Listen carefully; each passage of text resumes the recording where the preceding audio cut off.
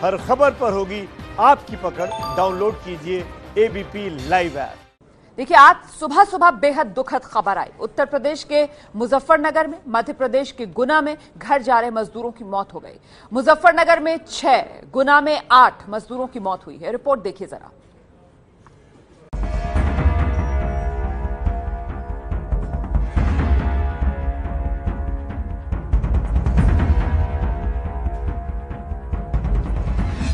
ये तस्वीरें यूपी के मुजफ्फरनगर की हैं, जहाँ रोडवेज़ की एक बस ने 10 मजदूरों को कुचलकर सड़क को शमशान बना दिया और मुजफ्फरनगर से 671 किलोमीटर दूर मध्य प्रदेश के गुना में मजदूरों से भरी कंटेनर बस से टकरा गई और आठ मजदूरों ने मौके पर ही दम तोड़ दिया। इन लोगों का कसूर बस इतना था कि लॉकडाउन में रोटी के जुगाड़ में ये अपने घर से निकले थे। इनका कसूर सिर्फ़ इतना था कि ये मजदूर थे और इन्हें भूख प्यास लगती थी। इनका कसूर सिर्फ़ इतना था कि ये ज़िंदा रहने की जद्दोजहद में सड़क पर आ गए। जो सड़क इन्हें घर तक ले जाने वाली थी, वही अचानक रात के घुप अंधेरे में शमशान की ओर मुड़ गई। यहाँ हादसा, एक्सीडेंट की सुनवाई में आई है, रोडवेज़ से हुआ है।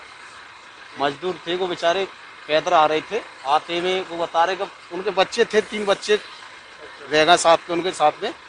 ग्यारह लोग बता रहे हो तीन तो बच गए। पाँच घायल खत्म हो गए। रात्रि करीबन दो बजे गुना बाईपास पर एक आइसर ट्रक और बस के बीच में एक्सीडेंट हुआ है। एक्सीडेंट में करीब पचपन लोग घायल हुए हैं। इसमें आठ लोगों की मृत्यु हो गई कारण क्या रहा है ये तो आगे जाँच से मालूम पड़ेगा। यूपी के मुजफ्फरनगर में बुधवार की देर रात रोडवेज़ की बस नंबर यूपी पिचासी, एटी शून्य नौ, एक एक ने, एक नहीं, दो नहीं, पूरे दस मजदूरों को कुचल दिया। तो गुना में कंटेनर यूपी नंबर का था और टकराने वाली बस राजस्थान नंबर की।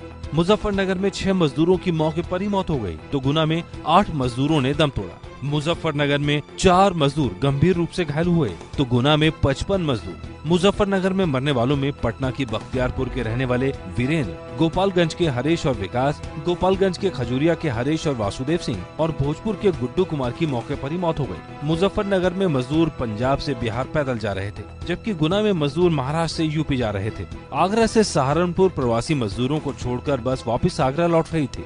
जानकारी के मुताबिक ड्राइवर शराब के नशे में था। हादसा घलोरी चेकपोस्ट के टोल प्लाजा ऐसी कुछ पहले का है। ड्राइवर का नाम राजवीर है, जो फिरोजाबाद के सुहाग नगर का रहने वाला है। ड्राइवर मजदूरों को कुचलने के बाद मौके से फरार हुआ, लेकिन फिर पुलिस ने उसे हिरासत में ले लिया। मजदूरों की मौत, इस लॉकडाउन में समाज, सरकार और सिस्टम से सवाल तो खड़े कर रही है, लेकिन क्या उन्हें इंसाफ मिलेगा या मुआवजे की कम्बल से उनकी ये मौत भी ढक दी जाएगी? और फिर मजबूरी और मातम की ज़मीन पर सिर्फ़ सियासतों के पौधे उपजेंगे। और देखिए, मध्य प्रदेश के गुना के डीएम एस विश्वनाथन इस समय हमारे साथ मौजूद हैं। सीधे उनका रुख करते हैं। विश्वनाथन साहब, ये हादसा हुआ किस तरीके से? जरा ये बताइए पहले तो दर्शकों को।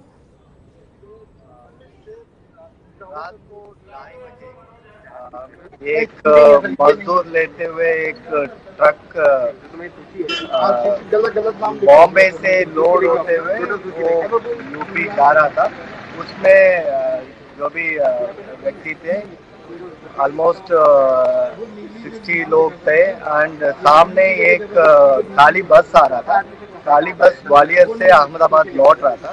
तो उसमें जो जो बस है, बस का गलती है, वो लोग अपोजिट में आने वाला ट्रक के साथ टक्कर कर दिया था, और इमिडिएटली वहाँ पे छः लोग का मृत्यु हो गया। तुरंत पुलिस प्रशासन हॉस्पिटल प्रशासन, स्थानीय प्रशासन सब लोग एक्टिवेट हो गया। तो एक्सीडेंट होने के पाँच, दस मिनट के अंदर सब लोग को वहाँ से रवाना करके वो डिस्ट्रिक्ट हॉस्पिटल में भर्ती कर दिया। जो अभी तक का जो मृत्यु का संख्या है, आठ है, ये ज़्यादा हो सकता था बट टाइमली पुलिस प्रशासन और हॉस्पिटल प्रशासन ने टाइमली उपचार हुआ है, उससे बहुत सारे राहत मिल गया बहुत सारे लोग का जान बचा पाया। सर घायलों की संख्या जरा बता दीजिए दर्शकों को क्या कुछ की हालत गंभीर बनी हुई है? अभी जो इंजर्ड है माइनर इंजरी है 53 लोग का इंजरी हुआ है। एंड ऑलमोस्ट uh, चार लोग का बिना इंजरी वो लोग अभी यहाँ पे है दूसरे हॉस्पिटल में ही है। तो टोटल uh, हम लोग का यहाँ पे 64 लोग का सूचना मिल रहा है। इस हादसे के लिए आपको क्या लगता है कौन जिम्मेदार है? विश्वनाथन जी। जी। ये बस ड्राइवर है बस ड्राइवर का ज़िम्मेदारी है, वो हम लोग देख रहे थे जहाँ जिस तरीके से एक्सीडेंट हुआ था। बस ड्राइवर वहाँ बस में दो ड्राइवर थे, फिर भी वो लोग बाईपास रोड में आके वो ट्रक के सामने हिट कर दिया, जिसमें ये एक्सीडेंट हो गया। सर सिर्फ़ बस के ड्राइवर की गलती है? कैंटीन में मजदूर क्यों भरे हुए थे सर मध्य प्रदेश से वो गुजर रहे थे, उन्हें कहीं पर रोका क्यों नहीं? उनको कहीं रुकवाया क्यों नहीं?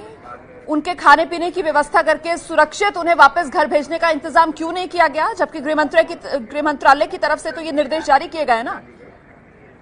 आ, मैं आपको ये अवगत कराना चाहूँगा कि गुना ज़िले में टोटल 90 बसेस हम लोग अरेंज किया है।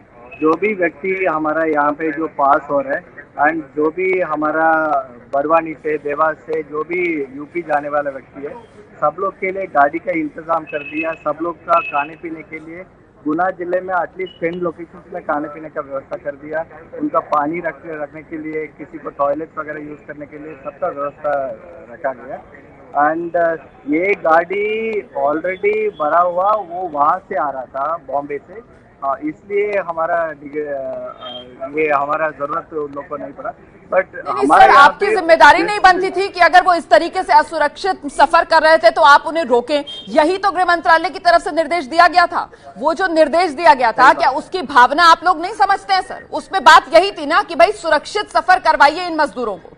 आप यहाँ पर अपनी ज़िम्मेदारी से पल्ला झाड़ रहे हैं कि साहब ये तो मुंबई से आ रहे थे कैंटर में भरकर आ रहे थे हम क्या करें? अरे रोक लेते उन्हें। उन्हें सुरक्षित भेज देते जब इतनी बसें आप गिना रहे हैं यहाँ पर एबीपी न्यूज़ पर उन्हीं में से किसी एक बस में सवार करके उत्तर प्रदेश भेज देते सर। क्यों मरने के लिए छोड़ दिया उस कैंटर में? ये बताइए। नहीं, हम आपको ये सूचना दे रहे हैं कि कल एटलीस्ट हम लोग नब्बे बसेस हम झांसी के लिए रवाना कर दिया। हम जितना भी गाड़ी हमारा बॉर्डर के अंदर एंटर कर रहे हैं, सबका पूरा हम चेक करके जहाँ पे ये गाड़ी जहाँ तक पहुँचना है, उसका भी व्यवस्था कर दिया। अभी इस केस का भी हम लोग डिटेलली इंक्वायरी कर रहे हैं। कहाँ पे छूट हुआ, क्या नहीं है, हम पूरा चेकिंग करेंगे अगर किसी का कुछ गलती है तो निश्चय कार्रवाई करेंगे। सर, आप कह रहे हैं चेकिंग करेंगे तो कार्रवाई करेंगे, ये गलती आपको दिखती नहीं है? कैंटर क्या यात्री परिवहन के लिए है? यात्री परिवहन के लिए तो बसेस होती है ना? जब आप देख रहे थे, प्रशासन देख रहा था कि कैंटर में भरकर मजदूर जा रहे हैं तो क्यों नहीं रोका उस कैंटर को? क्यों नहीं उन मजदूरों को बसों में सवार कराया? गृह मंत्रालय का निर्देश तो यही था ना, रेल, बस से उनको सुरक्षित, उनके गंतव्य पर भेजें। तब तक उनके रहने का इंतज़ाम करें, उनके खाने पीने का इंतज़ाम करें। आप लोग तो लग रहा है आप लोगों ने गेंद बना लिया है मजदूरों कोई इधर उनको धकेलता है, कोई उधर उनको धकेलता है। इंसान में गिनती नहीं कर रहे हैं आप लोग मजदूरों की, सर। मैं यही कहना चाह रहा हूँ कि कल हम लोग जितना ऐसा गाड़ी आया था, सब गाड़ी में हम लोग पूरा चेकिंग करके पूरा इसको सब शिफ्ट कर दिया था। इस इंसिडेंट में कैसा हुआ, क्या हुआ, हम पूरा जाँच करके बता रहे हैं। चलिए, बहुत बहुत धन्यवाद आपका हमसे बात करने के लिए। मैं संतुष्ट नहीं हूँ, लेकिन जिस तरीके के जवाब आप दे रहे थे विश्वनाथन सर, यहाँ सवाल जो है वो ज़िंदगी का है। भले ही मजदूर हैं, लेकिन ज़िंदगी तो इनकी भी कीमती है ना। पर जिस तरीके का रवैया यहाँ पर प्रशासन की तरफ़ से अपनाया जा रहा है इन मजदूरों को लेकर, ऐसा लगता नहीं है किसी की नज़र में मजदूरों की जान की कोई कीमत है।